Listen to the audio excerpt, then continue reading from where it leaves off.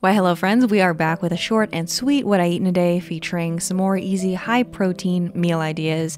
If you missed my previous high protein full day of eating, I will link it down below for you to check out. Big thank you to Skillshare for sponsoring today's video. More info on that later. And as you can see, I am still on the overnight high protein oats for breakfast, and this week we made a PB&J flavored ones. For my liquids, I used a combination of plain unsweetened soy milk and the Siggi's plant based coconut blend yogurt. You can use any combination of non dairy milk and yogurt you like. I just went with these two because they're both pretty high in protein. We've got a tablespoon of chia seeds for some extra protein, healthy fats, omegas, fiber, all that good stuff, and then about a quarter cup of powdered peanut butter. And I sweetened it with a little bit of agave, which is optional. If you prefer, you can use regular peanut butter instead of the powdered, or you can substitute in your favorite plant based protein powder. Once I combined all of those ingredients, I added in my quick oats. Give them a stir and then cover them and pop those in the fridge. This step is optional, but I do like to make them kind of cute and I transfer them to these little mason jars and I layer them with a little bit of raspberry preserves and some extra nut butter. But if you prefer, you can just keep it in one big container in the fridge overnight and then portion it out in the morning when you're ready to eat it.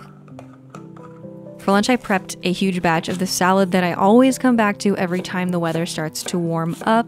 The base of it is a bunch of cabbage that I chop up finely. I like to use a combination of green and red cabbage just because I think it's pretty to have a bunch of colors in there. Some chopped carrots, some scallions, and some cilantro. If you want to get fancy, you can add in some mint or some Thai basil and honestly add in any extra veggies you like. Sometimes I'll add in some bell pepper or some spiralized zucchini.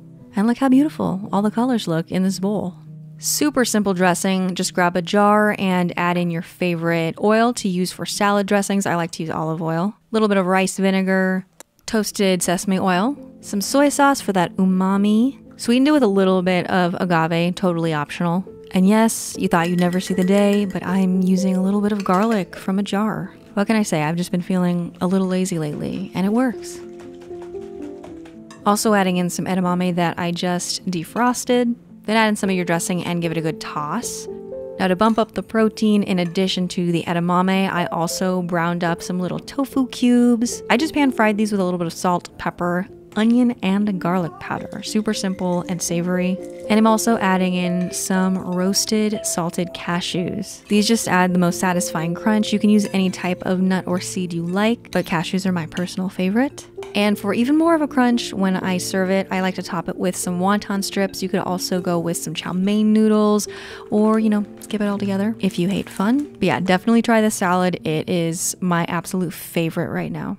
Now, quick pause to share a few words about today's sponsor, Skillshare, which is an online learning community that offers classes in thousands of different topics, from creative ones like photography and graphic design, to more business oriented ones such as marketing, web design, and entrepreneurship. I've been taking classes through Skillshare since 2018, and the class I'm taking right now is called Introduction to SEO Tactics and Strategy for Entrepreneurs with Rand Fishkin, who is the founder of a tech company. Basically, it's teaching me all the nitty gritty of writing better content to attract more traffic to my recipe website. I'm a lot more comfortable with the creative side of running a food blog. The technical stuff is always very intimidating to me, so it's really nice to have classes like these on Skillshare that are taught by experts and that lay out all the information for me in an organized way. If you are interested in trying out Skillshare for yourself, I'm gonna have a link in the description box, and the first thousand people to use it can sign up for a free one month trial with Skillshare.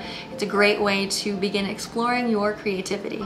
Okay, for Din Din, I made a variation of this roasted tomato soup that I've made a couple times on the channel. I think it's just really good and very easy. The recipe is super flexible. I never measure anything, just chop up a bunch of tomatoes, quarter a white or yellow onion, throw it all in a baking dish, or in my case, a cast iron skillet. Season it with some olive oil, salt, pepper. You can add in some dried herbs if you like. And then I add in a whole head of garlic. I just cut it in half and then I nestle it in there. Pop it in the oven and roast it. I never time it either. It's probably in there for about 45 minutes to an hour. Just until everything is nice and roasted and fragrant and the onions are kind of starting to caramelize a little. And in the meantime, I prep some ingredients to make some tempeh BLTs. This is my first loaf of homemade bread in a long time. It looks a little weird. I actually forgot I was making it and I overproofed it, hence the wonky top, but it still tastes really good. Then I have this tempeh bacon recipe on my blog. I'll link it down below. Go ahead and thinly slice a brick of tempeh, and then no need to marinate it for this recipe. You're just gonna go ahead and combine all of the flavorings in a skillet. So, some soy sauce, olive oil, a little bit of coconut sugar or maple syrup, onion and garlic powder, a little bit of liquid smoke.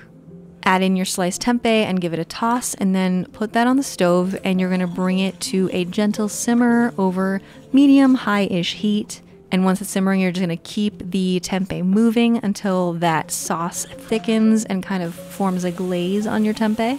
And once there's no more extra liquid in the bottom of the pan, you can serve it like that. But for the sandwiches, I wanted to crisp it up a little bit, so you can put it in the oven, or in my case, I popped it into my air fryer basket and just let it go for about 10 15 minutes on a low temperature until it was as crisp as I wanted it to be. Now back to our soup ingredients. Everything is nice and roasty toasty, and I transfer it to a blender. And the roasted garlic is nice and buttery and soft, and you can go ahead and just squeeze it out of the skins. And usually, to make this tomato soup creamy, I will add in some full fat coconut milk or vegan heavy cream substitute or a bunch of cashew cream. But this time around, I actually used a combination of white beans, which I cooked in the instant pot, and a handful of raw cashews. And it really did give it a nice creamy texture while also adding in some extra protein and fiber. And then I just added in a couple of chicken style bouillon cubes. I just pureed all those ingredients together and then I poured it into a little sauce pot and heated it up. And in the meantime, I assembled my sandwiches. I had toasted my homemade sourdough with a little bit of butter in a pan, little smear of Vegenaise, fresh sliced tomatoes, couple slices of our homemade tempeh bacon, some mashed avocado. This avocado was like perfectly ripe. It was so good. And then some fresh lettuce. And we have a nice little sandwich soup combo for dinner. For dessert, I made these bars that had an almond flour shortbread crust. These are kind of inspired by the Caramel Delight Girl Scout cookies. And then the filling was some toasted shredded coconut, some peanut butter, vanilla, a little bit of coconut butter, and then a bit of agave to sweeten it.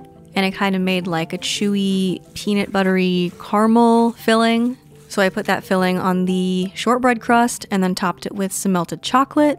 And that was dessert. And that is everything that I ate today. Hopefully, this gives you some high protein vegan meal ideas to add to your rotation, and I will see you soon in my next video. Bye!